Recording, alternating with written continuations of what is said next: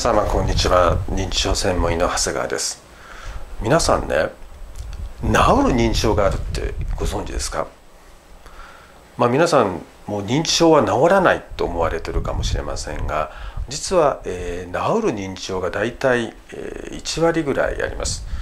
そもそも皆さんね認知症ってそれ自体病名じゃないんですよ。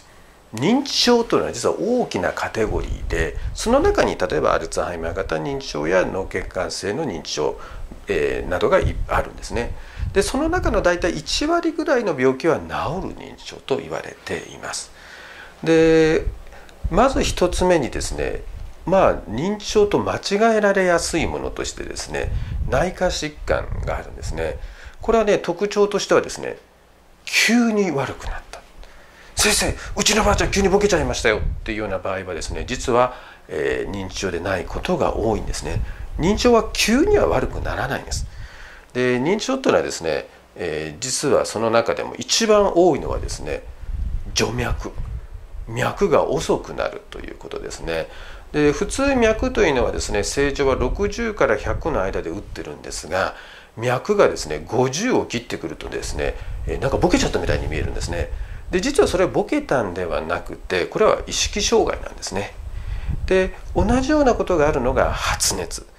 先生うちのばあちゃん急におかしくなっちゃったと言って熱波を測ったら38度5分。も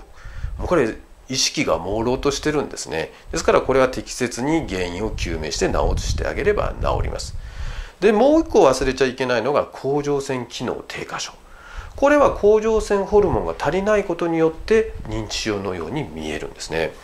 で甲状腺ホルモンを追加してあげれば正常になりますのでこれは絶対見落としてはいけない。ですから徐脈、えー、発熱そして甲状腺機能低下症というのはですね、えー、専門医としては絶対見落としてはいけない病気になります。でもう一つですね薬の副作用で認知症のように見えることもあるんですね。実は割と皆さん気が付いておられないんですけど風邪薬。風邪をひいた時によく出る総合漢方薬っていうのは眠気を誘発するんですね。ですから、えー、実は認知症みたいに意識障害が起こることがある。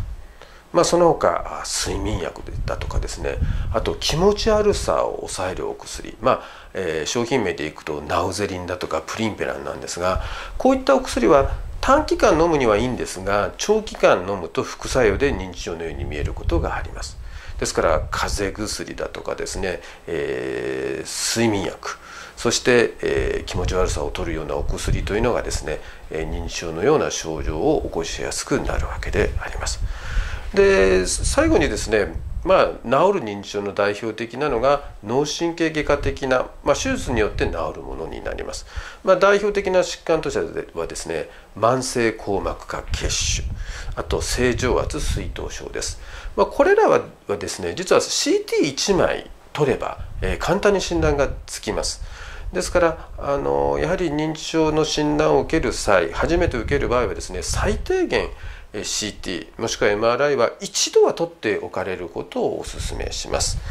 まあ以上ですね、えー、治る認知症についてお話をしましたがまああの、まあ、やはり一度は専門医にかかってですねこの治る認知症を見落とさないということがとても大事になります。えまた詳しくはですね、え YouTube に添付してありますですね、えブログのサイトの方でですね、え詳細を、え読んでいただければですねありがたいと思います。